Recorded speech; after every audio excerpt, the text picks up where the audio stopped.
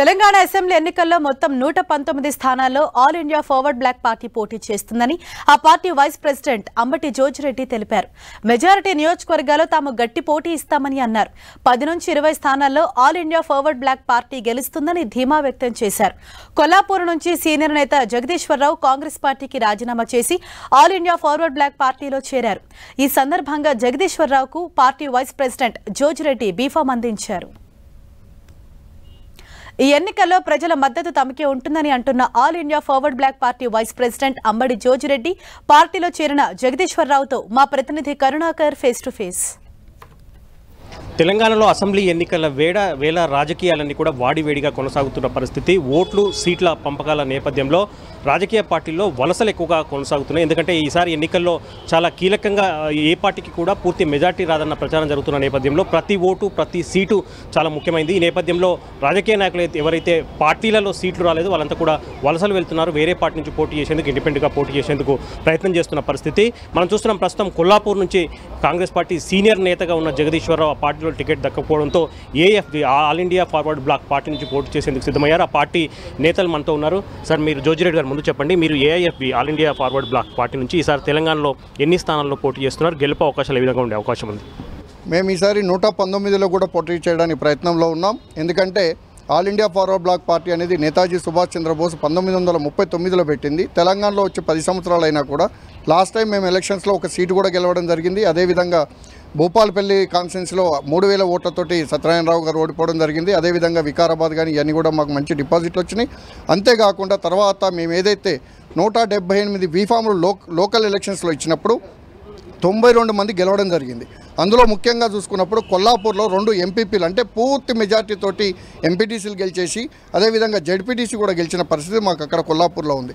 కాబట్టి ఈసారి మొదటి స్థానంగా కూడా మేము జగదీశ్వరరావు గారు గెలిచి మా పార్టీలో నిల ఆ స్టాండ్ని నిలబెడతారనే నమ్మకంతో తను కూడా సీనియర్ నాయకుడిగా మంచి పేరున్న వ్యక్తిగా మాకు తెలిసి మేము తనను కూడా ఆహ్వానించడం పార్టీలోకి ఈ రోజు కండువా కప్పుకొని బీఫామ్ కూడా ఇవ్వడం జరిగింది.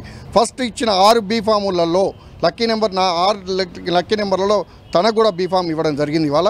సో మాకు ఖచ్చితంగా ఈ సీట్ ఫస్ట్ సీట్ గెలిచే సీట్ అని చెప్పేసి కూడా మేము అనుకుంటున్నాం.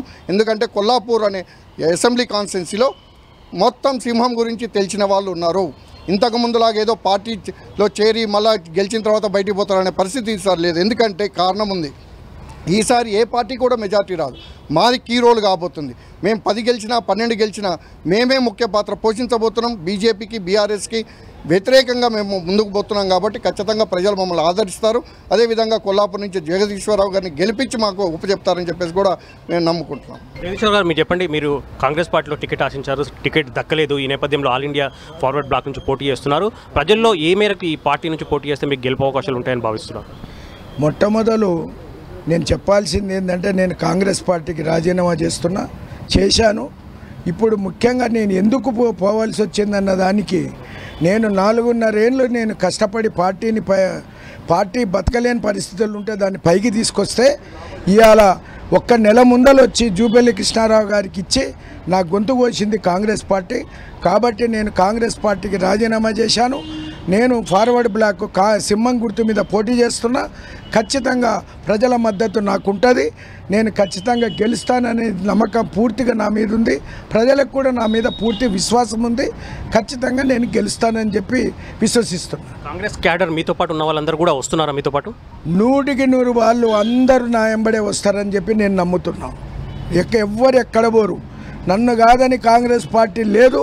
నన్ను నన్ను నేను కాంగ్రెస్ పార్టీని బతికించిన నేనే కాంగ్రెస్ పార్టీ ప్రజలే నా కాంగ్రెస్ పార్టీ. ఏం చెప్తారు మీరు? ప్రజలకు కొల్లాపూర్ ప్రజలకు ఓటు అడిగేదానికి ఏం చెప్తారు మీరు?